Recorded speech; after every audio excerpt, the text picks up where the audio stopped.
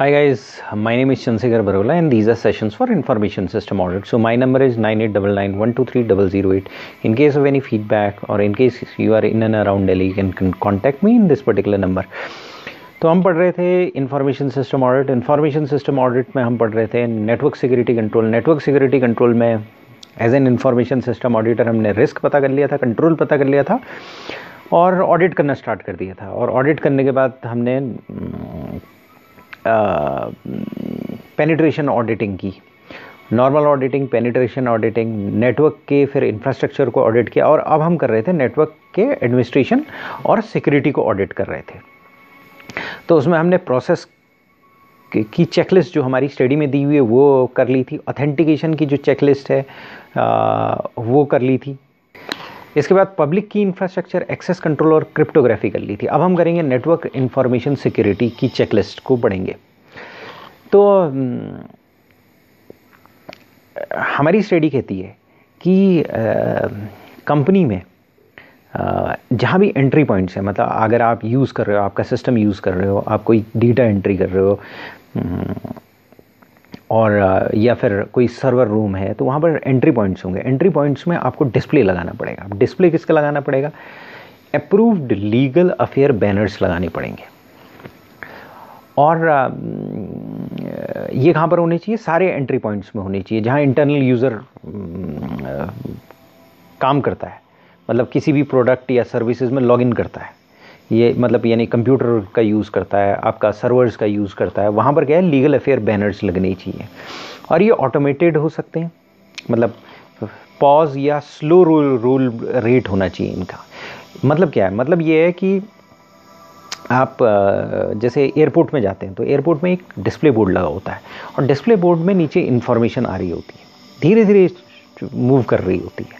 Even आजकल railway station में कई बार लगा होता है और धीरे धीरे रेड कलर से चीज़ें मूव कर रही होती है। वो डिस्प्ले उतना अच्छा नहीं होता है एयरपोर्ट का डिस्प्ले अच्छा होता है। तो एयरपोर्ट में वो इन्फॉर्मेशन डिस्प्ले कर रही होती है, कभी पॉज करती है, कभी स्लो स्लोली रोल करती है स्लो रोल रेट होता है उसका। तो यही चीज़ हमारी स्टडी कर रही है। हमारी स्टडी कह रही है कि लीगल अफेयर बैनर होनी चाहिए कि जहाँ पर बंद आईटी के इंस्ट्रूमेंट्स में बंदा लॉगिन कर रहा है, वहाँ सारे एंट्री पॉइंट्स में लीगल अफेयर बैनर होनी चाहिए और उसमें कुछ इस तरीके से लिखा होना चाहिए कि भाई आप इस सिस्टम को अप्रूव्ड बिज़नेस पर्पजेज के लिए ही यूज़ कर सकते हैं। दूसरे पर्पज़ के लिए यूज़ करना प्रोहिबिटेड है। आप जो भी यूज़ कर रहे हैं रिकॉर्ड्स रिपोर्ट ईमेल सॉफ्टवेयर कोई भी चीज़ जो जनरेट हो रही है, वो कंपनी की प्रॉपर्टी है। और कंपनी के द्वारा किसी भी पर्पज़ के लिए यूज़ की जाएगी। ऑथराइज्ड और अनऑथराइज्ड एक्टिविटी आपकी मॉनिटर की जाएगी। तो ये कहीं आप मेन फ्रेम हो वर्क स्टेशन हो पर्सनल कंप्यूटर हो नेटवर्क सिस्टम्स हो, कहीं पर भी जहाँ पर यूज़ करते हैं, वहाँ पर जो एंट्री पॉइंट्स हैं, वहाँ पर ये डिस्प्ले होना चाहिए। इनका कहने का मतलब है। वैसे अभी ऑर्गेनाइजेशन में ये स्टार्ट नहीं हुआ है। पर हमारी स्टडी कहती है। पर हमारी स्टडी करिए कि इस तरह के डिस्क्लेमर होने चाहिए। जिस तरह के डिस्क्लेमर जब आप सॉफ्ट आप जी ओपन करते हैं तो वहाँ पर एक लंबी सी लिस्ट आ जाती है। तो उसमें से एक छोटी सी चीज़ उन्होंने बताई है कि डिस्प्ले बोर्ड्स में लीगल अफेयर बैनर का नाम दिया है उसे। अप्रूव्ड लीगल अफेयर बैनर का नाम दिया और उसमें टेक्स्ट चलते रहना चाहिए धीरे धीरे इस तरीके से उन्होंने बोला है। तो नेटवर्क इन्फॉर्मेशन सिक्योरिटी की चेकलिस्ट में आप ये ऑडिट करोगे, हमारी स्टडी के अनुसार। वैसे हिंदुस्तान में अभी ज़्यादातर कंपनीज़ में ये नहीं होता, लेकिन हमारी स्टडी कह रही है। तो हम पढ़ लेते हैं क्योंकि एग्जामिनेशन में आ सकता है। उसके बाद ये देखना होगा कि डायल इन कनेक्टिविटी प्रोहिबिट की गई है कि नहीं की गई यानी कि इंटरनेट का यूज़ प्रोहिबिटेड है कि नहीं है। और अगर इंटरनेट का यूज़ या डायल इन कनेक्टिविटी अलाउड है तो अप्रूव्ड होनी चाहिए इन राइटिंग में होनी चाहिए बिज़नेस मैनेजमेंट या आईटी के डिपार्टमेंट के द्वारा अप्रूव्ड होनी चाहिए एक्सप्लिट अप्रूवल होना चाहिए। और मिनिमम कंट्रोल्स होने चाहिए मॉडम में कि मॉडम तभी आंसर दे जब चार पाँच बार घंटी बजे। ये हमारी स्टडी करती है। उसके बाद रिमोट कंट्रोल प्रोडक्ट्स नहीं होने चाहिए, ऐसे डायल इन्वायरमेंट में। और अगर कोई रिमोट कंट्रोल प्रोडक्ट्स हों तो वो आईटी डिपार्टमेंट से अप्रूव्ड होनी चाहिए। और वही सॉफ्टवेयर यूज़ होनी चाहिए जो वेंडर के द्वारा सपोर्ट किए गए यानी सपोर्टेड सॉफ्टवेयर यूज़ होने चाहिए। अनसपोर्टेड सॉफ्टवेयर नहीं यूज़ होने चाहिए क्योंकि क्या होता है अनसपोर्टेड सॉफ्टवेयर होते हैं तो उसमें अटैक्स हो सकते हैं क्योंकि अनसपोर्टेड सॉफ्टवेयर में पैचेस नहीं आते हैं। जैसे फॉर एग्जांपल विंडो है। विंडो 8.1 से पहले माइक्रोसॉफ्ट uh, ने अब बोल दिया है कि उसको सपोर्ट नहीं करेगा। तो उनका टाइम लिमिट है उसके बाद वो सपोर्ट करना बंद करेगा।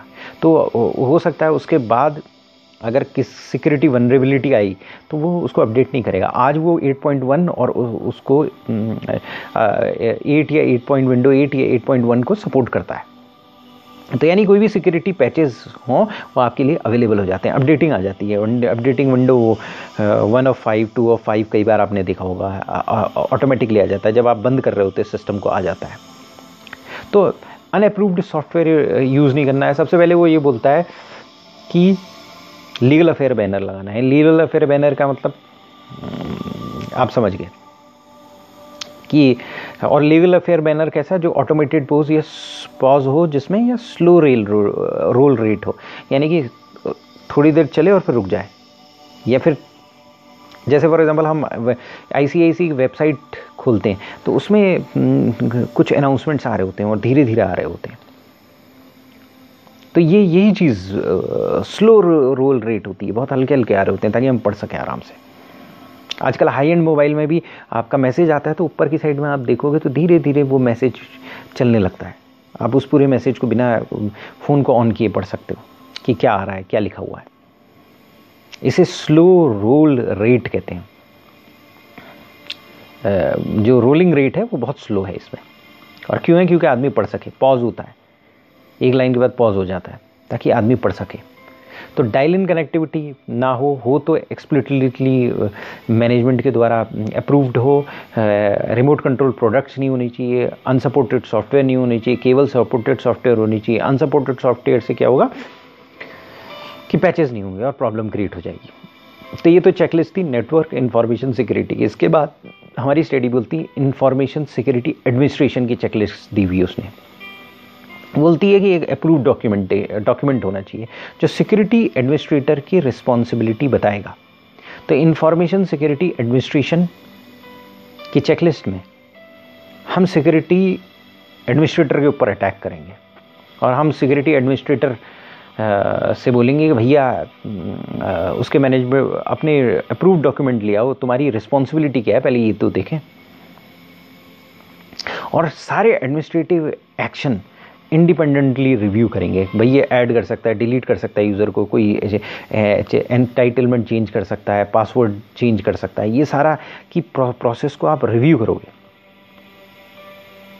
उसके बाद सिक्योरिटी एडमिनिस्ट्रेटर के फ़ंक्शंस को रिव्यू करोगे कि भाई ये सिक्योरिटी ऑडिट लॉग्स रिव्यू कर रहा है कि नहीं कर रहा है? इंसिडेंट को रिपोर्ट कर रहा है कि नहीं कर रहा है? ऑनलाइन रिपोर्ट्स कर रहा है कि नहीं कर रहा है? और फ्रीक्वेंसी क्या है? कुछ की फ्रीक्वेंसी पर डे होगी, कुछ की फ्रीक्वेंसी वीकली होगी। जनरली इंसिडेंट की तो पर डे ही होगी। तो ऑडिट लॉग्स ऑनलाइन रिपोर्ट ये सब रिव्यू करता है कि नहीं करता है सिक्योरिटी एडमिनिस्ट्रेटर ये हम देखेंगे। वाइड एरिया नेटवर्क है तो router table maintain securely maintain की जाती है कि नहीं, की जाती है? राउटर्स में ये देखेंगे। राउटर टेबल नहीं राउटर्स राउटर टेबल होती है उसमें, वो ये राउटर जो है पॉपुलेट कर लेता है राउटर टेबल वो ताकि दूसरे राउटर से बात कर सके, ताकि उसे पता चल सके कौन कौन से राउटर एक्टिव हैं। अगर सिस्टम में कुछ राउटर एक्टिव नहीं रहे तो वो राउटर टेबल से हट जाते हैं कुछ समय बाद। ये हम पहले भी पढ़ चुके हैं। राउटर की लॉगिन आईडी और पासवर्ड सेंसिटिव इन्फॉर्मेशन की तरह ट्रीट कर रहा है कि नहीं कर रहा है? और ऑथराइज्ड एडमिनिस्ट्रेटर ही उसे मैनेज करता है कि नहीं मैनेज करता? है दस आपकी बहुत बड़ी कंपनी है, उसमें पाँच सिक्योरिटी एडमिनिस्ट्रेटर हो। तो एक ही एडमिनिस्ट्रेटर या पर्टिकुलर दो एडमिनिस्ट्रेटर उन वही उन वही मैनेज कर रहा है उनके पासवर्ड की नहीं। सब तो नहीं मैनेज कर रहे हैं। और जो भी राउटर टेबल के एंट्रीज में जो चेंजेस हो रहे हैं, वो लॉक्ड है कि नहीं है इंडिपेंडेंटली व्यूड है कि नहीं है एक्सेस वायलेशंस देख रहा है कि नहीं देख रहा है एस्केलेट कर रहा है कि नहीं कर रहा है टाइमली एक्ट कर रहा है कि नहीं कर रहा है, ये सारी चीज़ें हम देखेंगे। और उसके अलावा अगर कोई अनयूजल एक्टिविटी है सस्पिशियस एक्टिविटी है तो आईटी डिपार्टमेंट या मैनेजमेंट को इमीडिएटली बताई जाती है कि नहीं बताई जाती है। और उसका क्लोजर किया जाता है कि नहीं किया जाता बिना डिले के उसको ठीक किया जाता है कि नहीं किया जाता है। दूसरी बात हम ये भी देखेंगे सिक्योरिटी एडमिनिस्ट्रेटर के जो फ़ंक्शंस हैं, उसमें कंप्लायंस और सिक्योरिटी प्रोसीजर्स क्वार्टरली या जो भी पीरियड है, उस पीरियड में उसकी रिपोर्ट बनती है रिव्यू करने के लिए आईटी डिपार्टमेंट के द्वारा, कि नहीं बनती है। और सारे सिक्योरिटी रिलेटेड एडमिनिस्ट्रेटिव प्रोसीजर्स ये डॉक्यूमेंट किए गए कि नहीं किए गए अप्रूव किए गए कि नहीं किए गए मैनेजमेंट के द्वारा, ये एक एनुअल एक्सरसाइज होनी चाहिए। सारे प्रोसीजरल को रिव्यू करना पड़ेगा पॉलिसीज़ नहीं प्रोसीजर्स को। और मिनिमम जो प्रोसीजर्स होनी चाहिए, उसमें क्या है? इंफॉर्मेशन ओनरशिप के प्रोसीजर्स होनी चाहिए डेटा क्लासिफिकेशन के प्रोसीजर्स होने चाहिए यूज़र रजिस्ट्रेशन या मेंटेनेंस के प्रोसीजर होने चाहिए ऑडिट ट्रेल का रिव्यू होना चाहिए वायलेशन की लॉगिंग और रिपोर्टिंग का प्रोसीजर्स होने चाहिए सेंसिटिव एक्टिविटी रिपोर्टिंग का प्रोसीजर्स होनी चाहिए semi annual entitlement review password reset escalation reporting इन सब के प्रोसीजर्स होनी चाहिए। यानी कि इन्फॉर्मेशन कौन ओन कर रहा है? कौन सा डिपार्टमेंट एक नया डिपार्टमेंट क्रिएट हो गया तो इन्फॉर्मेशन ओनरशिप का पैटर्न चेंज हो गया। मानो बड़ा फाइनेंस डिपार्टमेंट था फाइनेंस के दो भाग बन गए, एक कंप्लायंस हो गया, एक नॉर्मल फाइनेंस हो गया, फिर फाइनेंस भी बढ़ गया सपोज़ एक फाइनेंस टैक्सेशन देखने लग गया केवल। टैक्स के लिए एक पर्टिकुलर डिपार्टमेंट उन्होंने बना बना दिया। वैसे वो फाइनेंस के ही अंडर आएगा। लेकिन सपोज़ वहाँ ownership pattern data ownership pattern data classification change हो जाएगा data information ownership pattern change हो जाएगा। यूज़र रजिस्ट्रेशन और मेंटेनेंस uh, देखेगा ऑडिट ट्रेल का रिव्यू होगा कि किस तरह से ऑडिट ट्रेल का रिव्यू करना चाहिए। वायलेशन को किस तरह लॉक करना है उनको रिपोर्ट करना है। इसका ये जो है एनुअल एक्सरसाइज होनी चाहिए इन प्रोसीजर्स को रिव्यू करने के लिए। इसके बाद हमारी स्टडी कहती है माइक्रो कंप्यूटर और पीसी सिक्योरिटी को किस तरीके से, यहाँ कौन सी चेकलिस्ट होगी? इसमें क्या देखना पड़ेगा? माइक्रो कंप्यूटर या पीसी सिक्योरिटी माइक्रो कंप्यूटर क्या है? हमने पढ़ाया है, पर्सनल कंप्यूटर है। तो पर्सनल कंप्यूटर में सबसे पहले क्या देखोगे? एंटीवायरस है कि नहीं है? तो आप देखोगे LAN server, mail server micro computers में अप्रूव्ड एंट्री वायरस इंस्टॉल है कि नहीं है? ताकि पूरे सिस्टम को सिक्योर कर रहा है। तो एंटीवायरस सबसे पहले आप एंटीवायरस देखोगे। उसके बाद क्या है कि कुछ पर्सनल कंप्यूटर्स में ज़्यादा इंपॉर्टेंट इंफॉर्मेशन हो सकती है, जैसे कंपनी के स्टॉप लेवल मैनेजमेंट का पर्सनल कंप्यूटर है। तो वो अगर चोरी हो गया, उस, वो रिमूव हो गया तो उसकी हमें पता होना चाहिए कितने कितने का लॉस हो सकता है।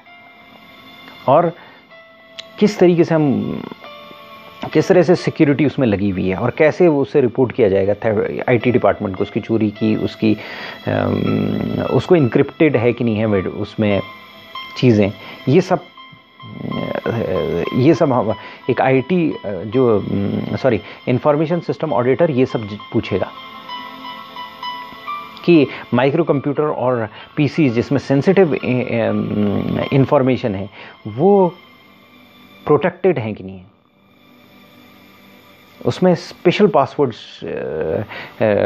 से ही ऑन एंट्री होती कि नहीं होती? पावर ऑन पासवर्ड से ही एंट्री होती कि नहीं होती? यानी कि कम से कम एक मिनिमम पासवर्ड लेंथ है, जैसे आठ वर्ड्स होने चाहिए कम से कम बिगर वर्ड्स होने चाहिए लोअर वर्ड्स होने चाहिए। अब ऐसा है कि आजकल क्या है टच स्क्रीन आर आ गए तो उसमें क्या है कि की लॉगिंग से बचने के लिए आप स्क्रीन में टच करके पासवर्ड डालने का ऑप्शन होना चाहिए कि भाई स्क्रीन से ही डाल सकते हैं। और वो स्क्रीन वो जो स्क्रीन में जो आपका, वो आए कीबोर्ड दिखे, वो मूव करे अलग अलग जगह में, ताकि कोई कभी भी पासवर्ड नहीं टूट टूटा जा सके। सेंसिटिव डेटा बैकडअप है कि नहीं है, ये आपको देखना पड़ेगा। तो माइक्रो कंप्यूटर पीसी सिक्योरिटी में सबसे पहले आपको एंटीवायरस प्रोडक्ट देखना पड़ेगा, उसके बाद ये देखना पड़ेगा कि सेंसिटिव इन्फॉर्मेशन की सिक्योरिटी देखनी पड़ेगी और फिर बैक, बैकअप है कि नहीं, ये तीन चीज़ें मेन देखनी पड़ेगी। उसके बाद ऑडिट ट्रेल क्वेश्चनर के बारे में हमारी स्टडी कहती है। ऑडिट ट्रेल क्वेश्चनर के बारे में हमारी स्टडी ये कहती है कि एक ऑडिट ट्रेल एसोसिएट होता है। ऑडिट ट्रेल एसोसिएट क्या करता है? सारे ऑडिट की ट्रेल को चेक करता है। भाई, बहुत बड़ा ऑर्गेनाइजेशन है। सिक्योरिटी एडमिनिस्ट्रेटर ऑडिट ट्रेल देखना भूल जाता है। तो एक आदमी लगा दिया हमने, कहा, तू ऑडिट ट्रेल ही दिखते रहो। और उसका नाम दे दिया ऑडिट ट्रेल एसोसिएट वो क्या देखेगा कि सारे प्रोडक्ट सर्विसेज़ में लॉग्स हैं कि नहीं है? वो सारे एक्शंस देखेगा। System operator system manager system engineer system administrator highly privilege account और इमरजेंसी आईडीज जो हैं, उनके ऑडिट ट्रेल चेक करेगा।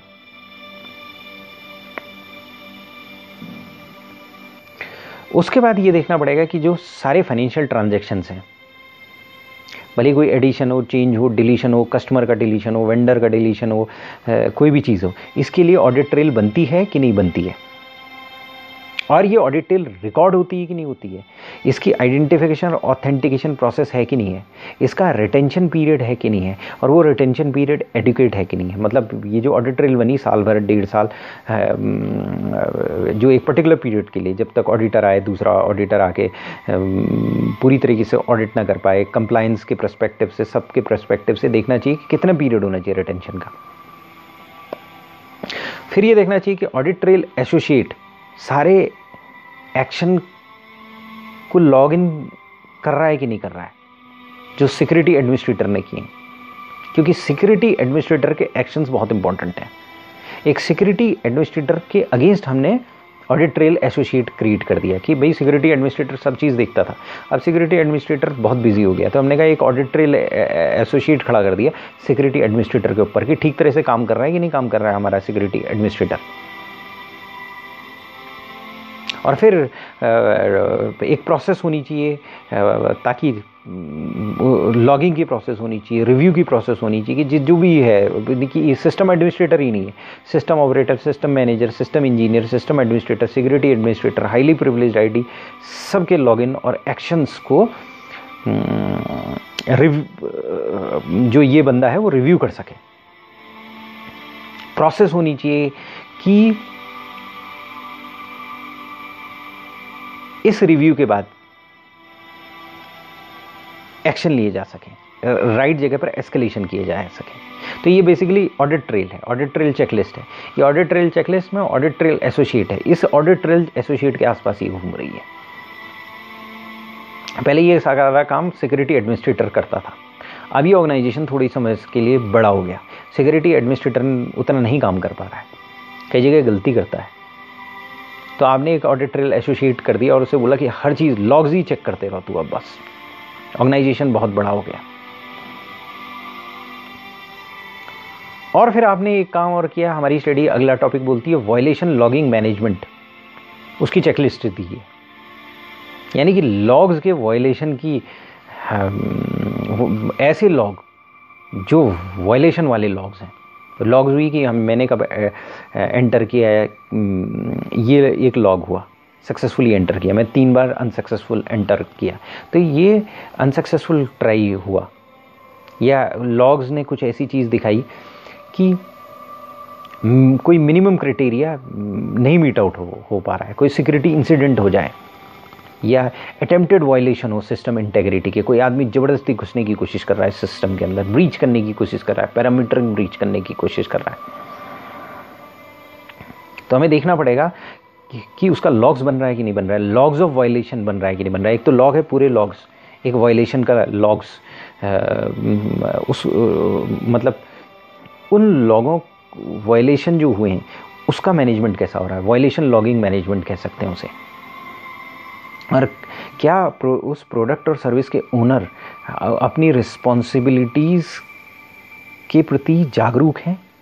जो सिक्योरिटी इंसिडेंट हुआ है उसकी रिपोर्टिंग कैसे करनी है उसको एस्केलेट कैसे क्या करना है उनके रिस्पॉन्सिबिलिटी के बारे में उसको जानकारी है? उसके लिए कोई पॉलिसी है? ये आप चेक करोगे। उसके बाद अगला टॉपिक हमारी स्टडी के थी इन्फॉर्मेशन स्टोरेज एंड रिट्राइवल यानी इन्फॉर्मेशन को कैसे स्टोर करना है और कैसे रिट्राइव करना है। उसका ऑडिट उसका क्वेश्चनर तो इंफॉर्मेशन को आप स्टोर कर रहे हो रिट्राइव कर रहे हो। तो इंफॉर्मेशन को जब आप स्टोर कर रहे हो और रिट्राइव कर रहे हो तो आपका सारा मीडिया फ़ाइल है फ्लॉपी डिस्क है टेप्स हैं, वो क्लासीफाई होनी चाहिए। क्योंकि अगर बहुत बड़ी कंपनी है तो उसमें क्लासिफिकेशन बहुत ज़रूरी होता है। छोटी भी है तो भी क्लासिफिकेशन ज़रूरत होता है ताकि आप सिक्योर स्टोरेज करना है एक्सेस करना है, किसी टाइम पर एक्सेस करना है तो ईजिली एक्सेस हो। तो आपको ये देखना है कि सिक्योरली स्टोर्ड है कि नहीं है और एक्सेस उसकी अथराइज पर्सन को रिस्ट्रिक्टेड है कि नहीं है और जिस समय एक्सेस होनी चाहिए, उस समय एक्सेस है कि नहीं है, वो प्रोडक्ट और सर्विसेज़ राइटली मार्क्ड हैं कि नहीं मार्क्ड हैं और एक प्रोसेस होनी चाहिए मार्किंग की, ताकि पता चल जाए ये डेटा किसका है। तो आप क्या करोगे कि दूसरा ये चेक करोगे कि जो डेटा है, जो स्टोर किया गया, वो ऐसे तो स्टोर नहीं किया गया कि भाई कुछ समय बाद डेटा अनरिकवरेबल हो जाए। यानी कि आपने फ्लॉपी की पहले फ्लॉपी डिस्क होती थी, अब तो नहीं होती, लेकिन वो उसमें मॉइस्चर से वो ख़राब हो जाती थी। या आपने सीडी या हार्ड ड्राइव हार्ड ड्राइव में किया है। और हार्ड ड्राइव ऐसी जगह में रखी है जिसमें इतना मॉइस्चर है या ऐसा मैग्नेटिक फ़ील्ड है कि वो डीमैग्नेटाइज कर दें। तो डेटा अन यूजेबल नहीं होना चाहिए अनरिकवरेबल नहीं होना चाहिए। यानी प्रॉपर तरीके से स्टोर होना चाहिए सही तरीके से स्टोर होना चाहिए जितने पीरियड के लिए होना चाहिए उसके बाद आप डिस्ट्रॉय कर दो। और उसके अलावा क्या है कि प्रोसीजर hmm, होना चाहिए कि भाई सारी क्रिटिकल इन्फॉर्मेशन अनऑथराइज एक्सेस नहीं होनी चाहिए, क्योंकि डेटा स्टोर है आर्काइव्स में स्टोर है। या बैकअप हुआ है उसका। मालूम बड़ा वहीं से गायब हो गया। तो प्रॉब्लम क्रिएट हो जाएगी। इसके बाद हमारी स्टडी पेनिट्रेशन टेस्टिंग के बारे बारे में कहती है। बड़ा ऑर्गेनाइजेशन है तो इथिकल हैकिंग आप करवा सकते हो। तो आप ये देखोगे कि इथिकल हैकिंग हुई है कि नहीं हुई, करवाई है कि नहीं की है? सक्सेसफुल पेनिट्रेशन टेस्टिंग है कि नहीं है? अगर मान लिया कोई प्रोडक्ट है, आप इन हाउस प्रोडक्ट बना रहे हो तो उसमें ज़्यादा और ज़रूरत हो सकती है कि आप एक इथिकल हैकर को बुलाओ और कहो, इसको हैक करके कोशिश करो। प्रोडक्शन इम्प्लीमेंटेशन से पहले इथिकल हैकिंग हुई है कि नहीं हुई है? पेनिट्रेशन टेस्ट हुआ है कि नहीं हुआ है? सक्सेसफुल पेनिट्रेशन टेस्ट हुआ है कि नहीं हुआ है? ये आप देखोगे। उसके बाद आप ये देखोगे कि अगर मान लें सपोज़ पर्टिकुलरली उस केस में, जहाँ पर इंटरनेट के साथ वो प्रोडक्ट काम करेगा कनेक्टिविटी के साथ काम करेगा कम्युनिकेशन के साथ काम करेगा तो वहाँ पर सब्सिक्वेंट पेनिट्रेशन टेस्ट की ज़रूरत है कि नहीं है? यानी कि एक बार प्रोडक्ट चल गया, कुछ समय बाद हो गए बीत गया तो छः महीने बाद या साल भर बाद फिर पेनिट्रेशन टेस्टिंग की ज़रूरत है कि नहीं है? इंट्रूजन डिटेक्शन सिस्टम है कि नहीं है एक्सटर्नल आईपीस के लिए? ये आप देखोगे। तो ये बेसिकली चेकलिस्ट थी। इस चेकलिस्ट में आपने नेटवर्क इन्फॉर्मेशन सिक्योरिटी पहले देखी, उसमें क्या बोला कि लीगल अफेयर बैनर बनाओ। लीगल अफेयर बैनर का मतलब ये है, जैसे एयरपोर्ट में डिस्प्ले स्क्रीन होता है और धीरे धीरे चलता है ऑटोमेटेड पॉज होगा, या स्लो रेट होगा, ये लीगल अफेयर बैनर चलेगा। और उसमें लिखा हुआ आएगा कि भाई ऐसा है गलत काम प्रोहिबिटेड है ईमेल शीमेल सारी चीज़ें कंपनी की कंपनी की है। यानी कि सारा चीज़, सारा जो भी आप इस कंप्यूटर में प्रोड्यूस करोगे, इस ऑर्गेनाइजेशन इस लोकल एरिया नेटवर्क है, उसका मालिक कंपनी है। आपकी एक्ट ऑथराइज अनऑथराइज एक्टिविटी को मॉनिटर किया जा सकता है। सब हम जासूसी कर सकते हैं आपकी। ये सारी चीज़ें उसमें होनी चाहिए। और कहाँ पर होनी चाहिए? एंट्री पॉइंट में ये लगा होना चाहिए और धीरे धीरे चल रहा हो या पॉज के साथ चल रहा हो, इस तरह से होना चाहिए। डायल इन कनेक्टिविटी आप प्रोहिबिट करोगे। रिमोट कंट्रोल प्रोडक्ट आप प्रोहिबिट करोगे, जब तक कि मैनेजमेंट आपको ओके ना बोले। अगर मैनेजमेंट ओके बोल रहा है, ठीक है। राइटिंग में है, ठीक है। उसके बाद सपोर्टेड सॉफ्टवेयर लोगे। फिर आया था इंफॉर्मेशन सिक्योरिटी एडमिनिस्ट्रेशन इसमें अप्रूव्ड डॉक्यूमेंटेशन होना चाहिए। इंफॉर्मेशन सिक्योरिटी एडमिनिस्ट्रेशन में आप सिक्योरिटी एडमिनिस्ट्रेशन के साथ पंगा लेना चालू करोगे। उससे उसके बारे में पूछना चालू करोगे। उसके बारे में ऑडिट करना चालू करोगे। उसके बारे में क्वेश्चनर होगा। तो सिक्योरिटी एडमिनिस्ट्रेटर के भैया, तुम्हारे क्या काम है? अप्रूव डॉक्यूमेंटेशन मंगाओ। फिर उसके बाद क्या है कि आप इंसिडेंट को कैसे रिपोर्ट करते हो? ऑनलाइन रिपोर्टिंग है कि नहीं है आपकी? हर शाम को रिपोर्ट करते हो कि नहीं करते हो? मतलब जिस दिन जो प्रॉब्लम्स आ गई इंसिडेंट होगा शाम को रिपोर्ट हुआ कि नहीं हुआ उसको ठीक करते हो कि नहीं ठीक करते हो राउटर टेबल है तो उस आपका काम सिक्योरिटी एडमिनिस्ट्रेटर का काम राउटर टेबल को मेंटेन करना है तो राउटर टेबल को सिक्योरली मेंटेन करते हो कि नहीं किसी राउटर की राउटर टेबल को सिक्योरली आप मेंटेन करते हो कि नहीं कर, करते हो अगर कोई वाइड एरिया नेटवर्क है पर्टिकुलरली तो। उसके बाद आप उसके पासवर्ड्स और आई लॉगिन आईडी को सिक्योरली ट्रीट करते हो कि नहीं करते हो? सारी जो राउटर टेबल की एंट्रीज अगर कोई चेंज हो रही है, वो लॉगड इन है कि नहीं है? अगर कोई अनयूजल सस्पिशियस एक्टिविटी है तो वो रिपोर्ट हो रही है कि नहीं हो रही है? उसके बाद अगर मान लिया सपोज़ कोई कंप्लायंस रिलेटेड चीज़ें हैं तो वो क्वार्टरली रिपोर्ट हो रही है कि नहीं हो रही है? अगर मान लिया सपोज़ एक प्रोसीजर्स से रिलेटेड चीज़ें एनुअल एक्सरसाइज होनी चाहिए, कोई भी एक मिनिमम प्रोसीजर्स होना चाहिए इन्फॉर्मेशन ओनरशिप डेटा क्लासिफिकेशन इन सब चीज़ों का। उसके बाद माइक्रो कंप्यूटर पीसी की सिक्योरिटी पर आ गया, वहाँ पर एंटीवायरस लगाओ सबसे पहले। उसके बाद बैकअप करो उसका। मतलब बैकडअप है कि नहीं है? ये देखो प्रोडक्ट जो सर्विसेज़ हैं, उसमें थेफ्ट तो नहीं हो सकती, ये देखो। उसके बाद ऑडिट ट्रेल की क्वेश्चनर है। Audit questionnaire audit trail associate के चारों तरफ़ घूमता है। ऑडिट ट्रेल एसोसिएट कौन है? एडिट्रियल एसोसिएट वो बंदा है जो बहुत बड़े ऑर्गेनाइजेशन के बहुत बड़े होने के कारण पैदा हो गया। और क्यों पैदा हुआ है? क्योंकि सिक्योरिटी एडमिनिस्ट्रेटर का कॉन्फ्लिक्ट ऑफ़ इंटरेस्ट होता है। क्योंकि सिक्योरिटी एडमिनिस्ट्रेटर कहीं बार लॉग्स चेक नहीं कर पाता। कई बार गलतियाँ हो जाती हैं तो वो चेक उसको कौन चेक करेगा? उसको एक इंडिपेंडेंट आदमी बैठा दिया ऑडिटरल और एसोसिएट हमने का परेशान कर दो सबको। सिक्योरिटी एडमिनिस्ट्रेटर को का कुछ काम तुम ले लो और इसके भी काम तुम देखते रहो इसको परेशान करते रहो। यानी लॉग्स देखते रहो कि भाई हम्म, सारे लॉग्स सही हैं कि नहीं? सही टाइम पर जा रहे हैं कि नहीं जा रहे हैं? सही टाइम पर रिव्यू हो रहे हैं कि नहीं हो रहे हैं? ये सारे चीज़ें देखते रहो। फाइनेंशियल ट्रांजैक्शन में एडिशन चेंजेस और ये सारे कोई भी नया कस्टमर ऐड करना है वेंडर डेटा ऐड करना है तो इसके लिए ऑडिट ट्रेल है कि नहीं है? मतलब हर चीज़ के लिए, हर ट्रांजैक्शन के लिए ऑडिट ट्रेल है कि नहीं है? लॉग्स हैं कि नहीं है? लॉग्स रिव्यू होते हैं कि नहीं है? सही टाइम पर लॉग्स में अगर कोई प्रॉब्लम होती है, वो रिपोर्ट होते हैं कि नहीं होते हैं। फिर उन्होंने वायलेशन लॉगिंग मैनेजमेंट क्रिएट कर दिया, यानी लॉग्स ऑफ़ वायलेशन यानी जहाँ वायलेशन होता है उसके लॉग्स अलग करो और फिर उनको मैनेज करो। उसको कैसे मैनेज करो? सही टाइम पर रिपोर्ट करो। सही टाइम पर रिपोर्टिंग हो रही है कि नहीं हो रही है चेक करो। उसके बाद इन्फॉर्मेशन स्टोरेज और रिट्राइवल में आया इन्फॉर्मेशन को सही टाइम पर स्टोर करो कंप्लायंस के अनुसार स्टोर करो और ये देखो कि हम्म, सही तरह से स्टोर हो रही है कहीं ऐसा तो नहीं अनयूजेबल और अनरिकवरेबल हो जाए। यानी कि ऐसे आपने इन्वायरमेंट में स्टोर हम्म, की कि चारों तरफ़ हायर मैग्नेटिक फ़ील्ड है। और उसने डेटा को अनयूजेबल बना दिया रिकवर ही नहीं हो पा रहा है। आप तो बैकअप का ही मतलब ख़त्म हो गया। और सारी क्रिटिकल इन्फॉर्मेशन स्टोर हो रही है कि नहीं हो रही है, और बैकअप में चोरी तो ना हो जाए। बैकअप आपने रखा, मालूम बड़ा सब स्ट्रांग है, लेकिन बैकअप कम, के वहाँ सिक्योरिटी कम, कमज़ोर है, वहीं से ही चोरी हो जाए। उसके बाद पेनिट्रेशन टेस्टिंग के बारे में था। पेनिट्रेशन टेस्टिंग आप करोगे, उसमें क्या है successful penetration testing ethical hacking है कि नहीं है? अगर मान लिया पर्टिकुलरली आप कोई प्रोडक्ट बना रहे हो तो प्रोडक्ट की रोबस्टनेस कैसे पता चलेगी? अगर विंडो टेन क्रिएट कर रहे हो तो आप पहले इथिकल हैकर को बुलाओगे कि भाई, मेरे ये विंडो टेन है, इसको चेक करो। कहीं ऐसा तो नहीं कि कल मैं मार्केट में रिलीज़ करूँ और परसों ये ब्लड बात हो जाए। यानी कि हैकर से हैक कर लें। तो पहले आप पेनिट्रेशन टेस्टिंग करवाओगे अपने प्रोडक्ट की रोबस्ट प्रोडक्ट बनाओगे। ये सारी चीज़ें उन ऑर्गेनाइजेशन के लिए हैं, जैसे जो ऑडिट्रियल एसोसिएट कह रहा हूँ मैं, वायलेशन लॉगिंग मैनेजमेंट या पेनिट्रेशन टेस्टिंग जो बड़े ऑर्गेनाइजेशन के लिए है। तो पेनिट्रेशन टेस्टिंग में आपको इंट्रूजन डिटेक्शन सिस्टम भी लगाना पड़ेगा। वहाँ पर देखना पड़ेगा एक्सटर्नल आईपी कनेक्शन के लिए इंट्रूजन डिटेक्शन सिस्टम है कि नहीं है पैरामीटर पर लगा है कि नहीं है। तो ये जो था क्वेश्चनर्स थे।